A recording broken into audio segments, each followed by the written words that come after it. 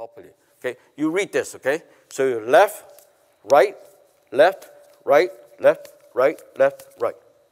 Okay, so every time you do this, then what you're doing, you're doing your exercise chisel with the gate 1 to gate 1, gate 1 to gate 2, gate 2 to gate 2, gate 3, gate 2 to gate 3, and that type of thing.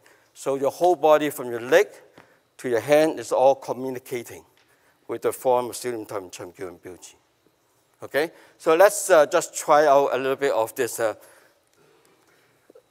古灵精怪 four stages of uh, Qi Pasao. Okay, so for example, when he punched me, okay, most people will do a Pasao is go two, three, four. Okay, so that's you know if you come to learn Wing Chun, so your Sifu will teach you this is you know that's everybody will do that. Okay, but if you come to me, I will say I don't put it here. Okay, I will do it this way.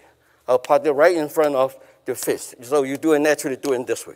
So this way here, you actually can park it and grab it and touch it and hold it at the same time. Okay, but because we're living in the, we're keeping in the long distance. Okay, so martial art is only two things.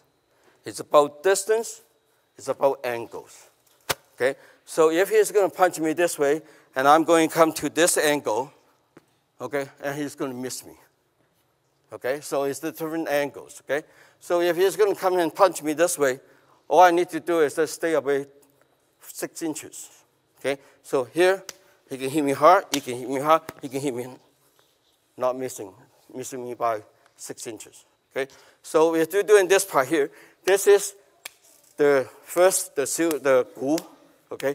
Now when you're more skillful, then you do the ling, okay? Then you do the pa sao and pa down.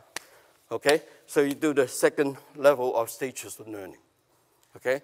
And then something like an expert now, okay? So when you, if someone, he come in here now, I actually can do it here on both hands, stick it together, okay? Glue it together and then hit it and then touch it and then smooth it at the same time.